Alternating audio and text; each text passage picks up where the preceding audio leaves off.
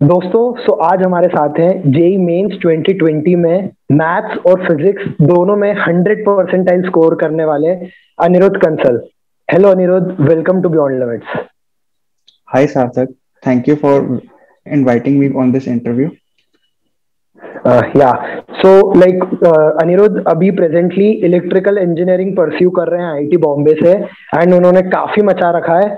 तो before starting this interview मैं आप सबको कहना चाहूँगा कि अगर आप चैनल पर नए हो तो सब्सक्राइब ज़रूर कर दो और बेल आइकन प्रेस करना मत भूलना बिकॉज़ आगे जे एडवांस की complete strategy organic and inorganic कैसे प्रिपेयर करना है। And particularly Anirudh JEE advance में फिजिक्स के क्वेश्चंस किस तरह पार्ट्स में सॉल्व करके बहुत इजीली अटेम्प्ट करते थे। इस पे भी एक वीडियो बहुत जल्द आने वाला है तो इन सबको बिल्कुल भी मिस मत करना।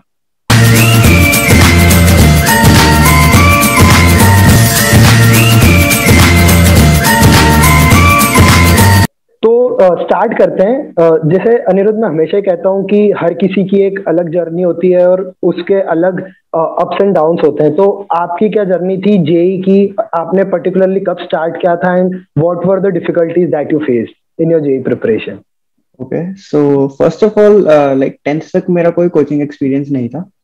एंड लाइक मोस्ट कैंडिडेट्स मैंने भी प्लस वन में शुरू किया। प्लस वन में इनिशियली एग्ज़ाम अटेम्प्ट नहीं करना आता होता। लाइक like, बहुत मिस्टेक्स हो जाती है रैंक पीछे हो जाता है। लेकिन ग्रेजुअली जब हम जब सीखा मैंने कि हाँ ऐसे पेपर अटेम्प्ट करते हैं तो ग्रेजुअली रैंक में एक अच्छा चेंज देखा मैंने। प्लस वन के एंड तक काफ़ी स्टेबल हो गया था रैंक और प्लस टू में भी काफ़ी डिसेंट रैंक था मेरे इंस्टीट्यूट में। एक दो बार बहुत आ, बड़े डाउनफॉल भी आए थे। लाइक बहुत ज़्यादा अपसेट हो गया था मैं वो इतने गंदे अटेम्प्ट के बाद। लेकिन आपको कम करना पड़ता है ये सीखा मैंने फिर। अच्छा तो अनिरुद्ध जैसे आपने पॉइंट मेंशन किया मैं इसको हाईलाइट करना चाहूँगा कि लाइक डाउनफॉल आए थे आपके रैंक में ये कहीं ना कहीं हर एक एस्पिरेंट की प्रिपरेशन में कैसा फ़ेज़ आता है जब उसकी रैंक बहुत ज़्यादा गिरना चालू हो जाती है। तो वो कम कैसे क्या था एंड उस पीरियड ऑफ़ टाइम में मोटिवेशन कैसे बना के रखा आपने?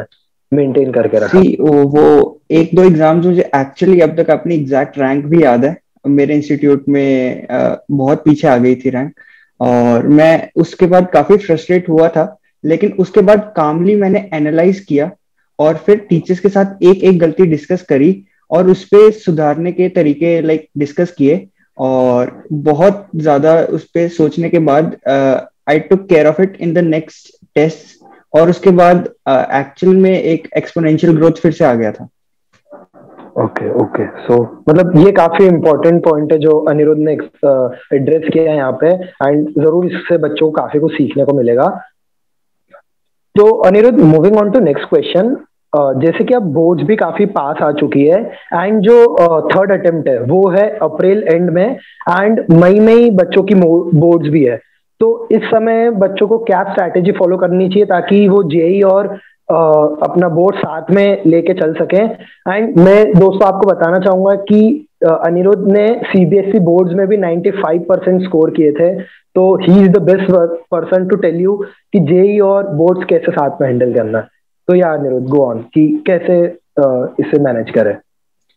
Okay so first of all क्योंकि आपकी मेंस की दो अटेम्प्ट हो चुकी हैं तो I think I can take it for granted कि आपने एक बार केमिस्ट्री जैसे सब्जेक्ट की एनसीईआरटी e बहुत अच्छे से पढ़ ली होगी। तो इसका बोर्ड uh, में डायरेक्ट बेनिफिट दिखता है। क्योंकि एक बार, खुद को एक बार कॉन्फिडेंस होता है कि हाँ मैंने एक बार सिलेबस कवर कर लिया है। और उसके बाद आप सबको पता ही होगा कि बोर्ड तो प्रीवियस ईयर से कितने ही क्वेश्चन कॉपी कर ही लेते हैं लाइक सेम ही क्वेश्चन आते रहते हैं कितनी बार। तो उससे जब हम वो वेरीफाई करते हैं तो हमें पता चलता है कि हाँ एनसीआरटी e का फ़ायदा हुआ है।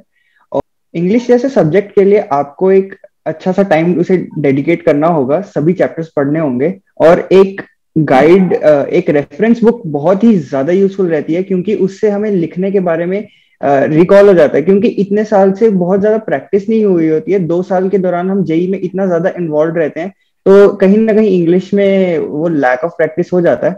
तो वो बुक बहुत हेल्प करती है लास्ट टाइम में। और जो ऑप्शनल सब्जेक्ट होता है फ़िज़िकल एजुकेशन वगैरह उसके लिए मैं ऑलरेडी अलर्ट करना चाहूँगा कि उसमें बहुत ज़्यादा टाइम लगने वाला है क्योंकि मुझे ये एज अ शॉक सामने आया कि हाँ इसका सिलेबस काफ़ी टाइम से रिवाइज नहीं किया है। तो हाँ इसको अगर आप पहले ही ध्यान में रखोगे और अच्छा टाइम डेडिकेट करोगे then you can do it well okay okay yeah sure Anirudh. Yeah Anirudh so मतलब इस पर्टिकुलर स्ट्रैटेजी को फॉलो करने से एंड जो ऑप्शनल सब्जेक्ट है उसको ज़रूर से ध्यान में रखने से बच्चों को बोर्ड्स में तो ज़रूर काफ़ी हेल्प मिलेगी। एंड मैं इधर एक पॉइंट एड्रेस करना चाहूँगा कि अभी थोड़ी समय के लिए वो लोग अपनी प्रिपरेशन को जेई के ऊपर ही रख सकते हैं। And like last fifteen days में वो अपनी प्रिपरेशन पूरी तरीके से बोर्ड्स पे शिफ्ट कर सकते हैं तो उन्हें काफ़ी फ़ायदा होगा उस चीज़ का। या हाँ, हाँ। ज़रूर। And now moving ahead so Anirudh बच्चों के मन में कहीं ना कहीं एक मित्र रहता है कि जेई एडवांस का पेपर बहुत टफ होता है। एंड उसको अटेम्प्ट uh, करने के लिए बहुत ज़्यादा प्रैक्टिस की ज़रूरत है या आपको बहुत ज़्यादा आना चाहिए। तो लाइक uh, like, इसके ऊपर आपके क्या views and how you personally tackle JEE advance paper see uh, मैं अपने टीचर की आइडियोलॉजी बताऊँगा यहाँ पे। मेरे टीचर ने बताया ऐसा करो एडवांस का कोई भी अगर आपकी एक बार प्रिपरेशन स्ट्रांग हो चुकी है तो अगर आप कोई भी एक पेपर उठा के देखोगे, आपको मिलेगा कि 40 से 60 परसेंट क्वेश्चन डुएबल हैं और डुएबल मैं कॉन्फिडेंटली इजी कैटेगरी के अंदर डालूँगा।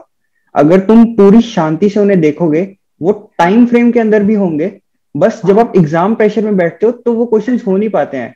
इतना कॉन्फिडेंस बनता ही नहीं है और हम कंफ्यूज हो जाते हैं। तो इसीलिए इस चीज़ को ध्यान में रखते हुए मैं हमेशा सबसे पहले डुएबल क्वेश्चन हंट करता था और ये सब मैं पहले सभी सब्जेक्ट्स में से डुएबल क्वेश्चन हंट कर लेता था और फिर उसके बाद जितना भी टाइम बचता था, मैं सिक्योर फील करता था कि हाँ मैंने एक minimum percent of easy questions कर लिए हैं, अब मेरे पास मार्क्स हैं। अब मैं टफ क्वेश्चंस पे अपना टाइम डेडिकेट कर सकता हूँ, क्योंकि मार्क्स इजी से भी उतने ही मिलने हैं और टफ से भी उतने ही मिलने हैं। बस आपको टाइम वाइजली स्पेंड करने की टेक्निक आनी चाहिए। अच्छा हाँ। ये सर अनिरुद्ध लाइक मतलब अपन को क्वेश्चंस का सिलेक्शन करते आना बहुत ज़्यादा ज़रूरी है। एंड आप कुछ और ऐड करना चाहेंगे इसमें? इसमें एक और चीज़ जो मैंने काफ़ी लेट रियलाइज़ करी थी ये थी कि मैथ्स इतना टफ भी नहीं होता है।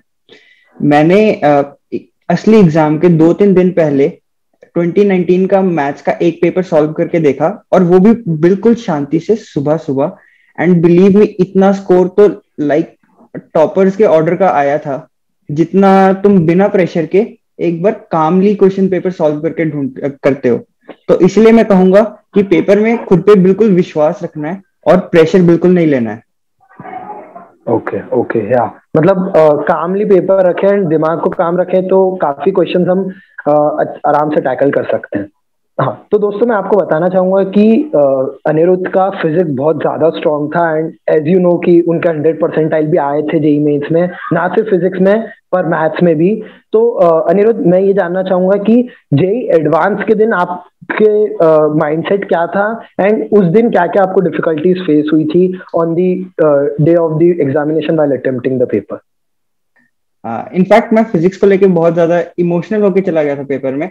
मैं कभी भी इतने टफ फिजिक्स के लिए प्रिपेयर्ड नहीं था। तो ये मेरा बहुत बड़ा लूप होल रहा, क्योंकि उसके कारण, उस मैसअप के कारण मेरे बाकी सब्जेक्ट्स पे भी थोड़ा थोड़ा इम्पैक्ट पड़ा और वो मेरी सबसे बड़ी गलती थी।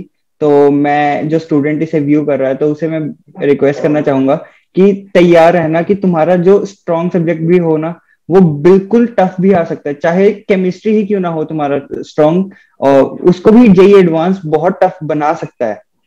So that was one mistake which I think मैंने करी और मैं बिल्कुल नहीं चाहूँगा कि कोई और करे। ओके ओके सो मतलब बेसिकली हमें किसी भी एक पर्टिकुलर सब्जेक्ट पे पूरी तरह रिलाई नहीं करना है। एंड फीलिंग्स को कंट्रोल करना है कि अगर जैसे अनिरुद्ध का फिजिक्स इतना अच्छा था एंड उनसे क्वेश्चंस नहीं बन रहे थे तो बाकियों से तो हिले ही नहीं होंगे। तो ये हमें बिल्कुल ध्यान में रखना है।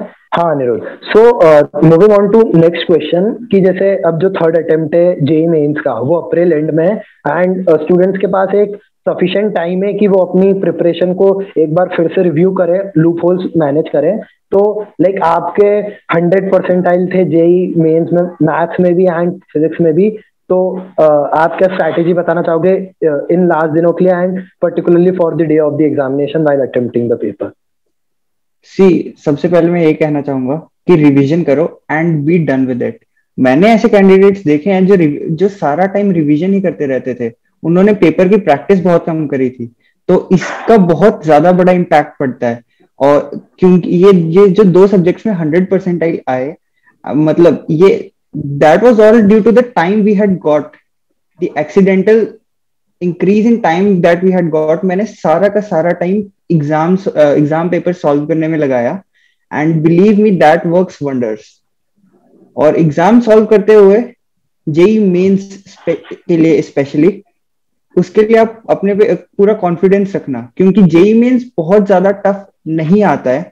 और अगर आप एक minimum number of questions attempt कर चुके हो minimum number of test attempt कर चुके हो तो लास्ट डे बिल्कुल कॉन्फिडेंट होकर पेपर देना, क्योंकि वो सिर्फ़ आपकी एक्यूरेसी के साथ खेल सकते हैं। आपके प्रॉब्लम सॉल्विंग स्किल्स के साथ बहुत ज़्यादा नहीं खेल सकते।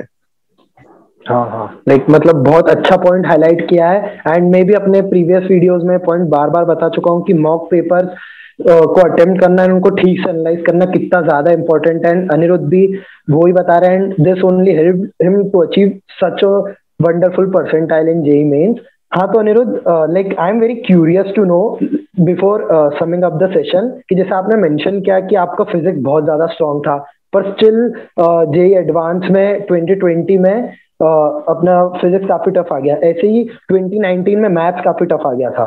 तो like how did you still manage to get into IIT Bombay and that too electrical branch so please वो स्टूडेंट्स uh, को बताइए। सो so, इस पे मैं ये बोलना चाहूँगा कि आपको बाकी सब्जेक्ट्स में भी होश रखना पड़ेगा। मैंने कभी एक्सपेक्ट नहीं किया था कि मेरे मैथ्स में काफ़ी अच्छा स्कोर आएगा। बहुत डिसेंट नहीं आया लेकिन मैथ्स का क्योंकि एवरेज अच्छा हुआ एग्ज़ाम तो इसीलिए मेरा पेपर संभल गया। तो इसीलिए मैं कहूँगा कि पेपर में जो सब्जेक्ट इजी आए, उसे पहचानना भी आना चाहिए। मैथ्स अगर टफ बहुत देर से आ रहा है तो इसका मतलब ये नहीं है कि अगले दिन भी मैथ्स टफ ही आएगा, अगले ईयर में भी मैथ्स टफ आएगा। तो ऐसा 2020 में भी हुआ। ओके ओके सो मतलब इजी uh, सब्जेक्ट्स को समझना ज़रूरी है और उस पर अटैक करना ज़्यादा ज़रूरी है और इमोशन को तो साइड में रखना ही है। जी। तो thanks thanks a lot Anirudh कि आप यहाँ आए और आपने आपका लाइक टाइम डिवोट करके इतनी सारी टिप्स बताई। तो लाइक uh, आखिरी एक एडवाइस जो कि आप एस्पिरेंट्स को देना चाहोगे बिकॉज़ जे मेंस के भी अभी दो अटेम्प्ट बाकी हैं बोर्ड्स भी लाइन में एंड एडवांस तो है द बिग एग्जामिनेशन तो काफ़ी सारी एग्ज़ाम्स लाइन में है तो what you want to add the last note yeah all I would like to tell the aspirants is अगर आपकी पिछली दो अटेम्प्ट्स भी अच्छी नहीं हुई हैं इसका मतलब ये नहीं है कि आपकी कि आपकी थर्ड अटेम्प्ट भी अच्छी नहीं होगी उसके लिए बहुत अच्छे से प्रिपेयर करो और फाइनली क्योंकि एडवांस बहुत ज़्यादा मैटर करता है। अगर आप जेई मेंस में किसी भी रीजन के कारण आपकी रैंक अच्छी नहीं भी आई है तो ऐसे बहुत एग्जाम्पल्स हैं हिस्ट्री में, जहाँ पे लोगों के रैंक अच्छे नहीं आए हैं मेंस में, लेकिन फिर भी एडवांस में वो होश रखते हुए बहुत अच्छा फोड़ गए हैं। And at the end advance के एग्ज़ाम में खुद पे विश्वास रखना, ये दो साल की मेहनत नहीं बर्बाद में जाएगी, इस बात का विश्वास रखना। सो थैंक्स थैंक्स अनिरुद्ध और बिल्कुल स्टूडेंट्स अपनी प्रिपरेशन पे पूरा फेथ रखो। आपने दो से तीन साल पिछले बहुत मेहनत करी है और ज़रूर उसके रिजल्ट्स आपको अपकमिंग एग्जामिनेशंस में मिलेंगे। तो once again Anirudh thanks for joining us so stay tune guys ऐसे वीडियोस के लिए और चैनल को सब्सक्राइब करना मत भूलना। और अगर अच्छा लगा हो तो अपने दोस्तों के साथ शेयर भी ज़रूर करना। तो खूब पढ़ो यार और मचा दो